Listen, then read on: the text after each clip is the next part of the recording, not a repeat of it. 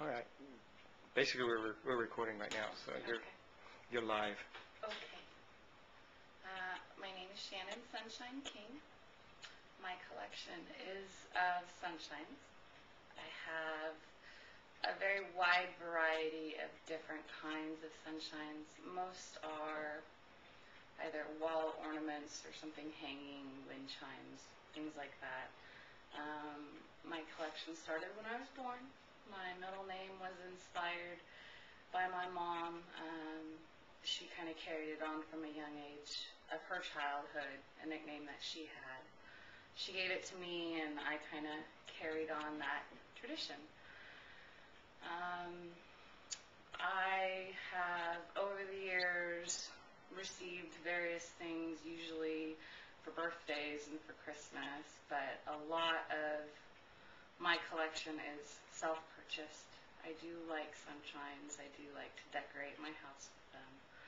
Um, I'm not too picky with my collection. A lot of what I have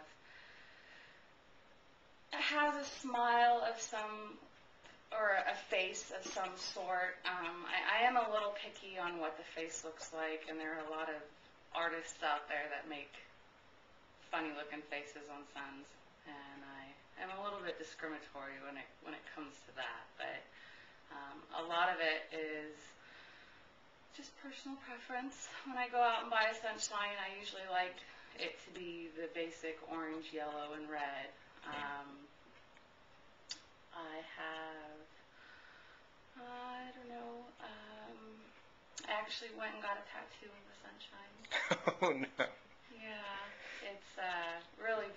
I spent a lot of money on it and made sure it was exactly what I wanted. I actually designed it myself. So that was something special for me to keep with me all the time. Um, I Do do you consider yourself like a collector of sorts, or is it, or is just sort of a passion that you've, It, well, collector, not really, because it's not any specific kind of sun or specifically wall hung suns or like a lot of my collection are the outdoor suns that I put on my fence. But um, I do like those, so I would say that I'm a collector of those specific suns. But my collection is just anything sunshine, you know, jewelry or wind chimes or kites or just anything sunshine. So yes and no, kind of, kind of, kind of both. Um, did- did you grow up with this feeling of sunshine as a nickname, sort of focusing your ideas on what, what appeals to you, or, or how did Well- you discover? When I was in preschool, um, my mom enrolled me with the nickname of Sunshine. That's what they called me. And I, I didn't go by Shannon. And then I went to preschool and I went by Shannon. And it was kind of under wraps for my elementary years. But, you know, every once in a while a kid would find out, oh, your middle name is Sunshine. And they'd kind of tease me about it, but that's what kids do. So for, for elementary school, it was kind of something I kept under wraps. I didn't want to share it with everyone, but um, I did a project in middle school, and it was um, tell us about your name and how you feel about it, and what, how, why it was given to you. And I kind of, I don't know, I, I took a different appreciation for it because writing out the paper, I asked my mom how she came up with it, and it kind of has a story behind it. So I, I learned to appreciate it a lot more. How, about how did she tell you the story? How, do you remember that kind of conversation when you Well- discovered sunshine is your? Yeah, when I when I talked to her and asked her why, um, she said that when she was in elementary school herself, she was in a class of her name's Carmen, and there was five other Carmens. So to to make her stand out, I don't know if it was the teacher that gave her the nickname or a nickname she gave herself, hmm. but they called her Sunshine, and that carried with her. And when I was born, it was a big argument. My grandma was so against it. And how could you name her Sunshine? Don't you realize? And my mom, being the little hippie she is, she just dug in her heels and said, "No, this is my kid. This is what I'm going to name her." And my grandma, for the first years of my life, still kind of fought it. And but to this day, you know, she she now is just like, you know, you're right, and it does make you who you are. And it, it's a little more accepted, I guess.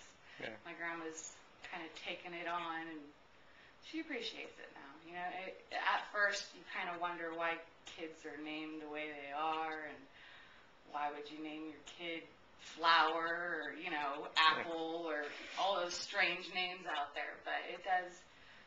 So, so you think it influenced your personality? I do. Yeah. I do. I I feel like I'm a bright person. I I don't know. I, I think it does change who I am and how I interact with people. And I like telling people my middle name is Sunshine now. How do people, adults and things, react when they hear? Oh, your parents are hippies. wow, smoked a lot of good weed back then. I always get that comment. Um, but I, I get the same genuine response of, oh, wow, yeah, that's special. That's, it's very different. And I, because I think it is so special, whenever I hear of somebody else being called Sunshine, I'm just like, oh, you're no sunshine. Yeah. What are you talking about? And I've heard it a couple times on like TV. They'll introduce somebody, their first name being Sunshine, and you're just like, A pretender. yeah, you're just like, you're no sunshine. What? but it is. It's a very unique name, and it's not something you hear. And I think that that's something special about giving a child a name. You kind of form. That's the beginning form of their personality and who they're going to be. So Yeah. it, it is special for me, and I, I, like I said, I like to collect them, and that's probably a big reason why, is because it is so much of who I am. Yeah. Do you figure that your children are going to carry the sunshine? I, you know, I haven't really thought about children names per se, but I would want something just as special. Yeah. I would put a lot of thought behind it for that reason. I think it's it's it's kind of a special feeling that your your mother would actually put something so positive as a gift for you. I agree. I agree. Definitely does help me be a a brighter person, just more appreciative of life and you know, it is part of nature and I'm very much into nature and I love my California weather too. Good. And I love the sunshine. Day without sunshine, you know. So I yeah, it's it is very special, something that she handed down to me and my dad just, you know, went along with the flow. He didn't argue. but um, yeah, I, I would like to pass something similar down to my kids that Yeah. kind of makes them stand out, make them a little unique. In, in terms of collecting, how do you how do you feel about the stuff that you have? Do you do you value it in terms of? Is it, Oh, Do you have?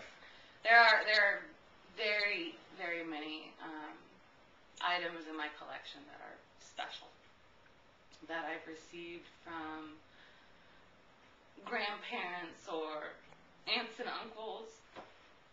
Some that are no longer around. Well, I know, I, I can appreciate that. You know, you have a uh, an investment of of the emotions in it, so the collection is really priceless in That's that true. respect. And I think it's, to my way of thinking, those parts are are are what really gives the collection value. It's not like whether it's gold or silver; it's what it means to you as a person. Yeah,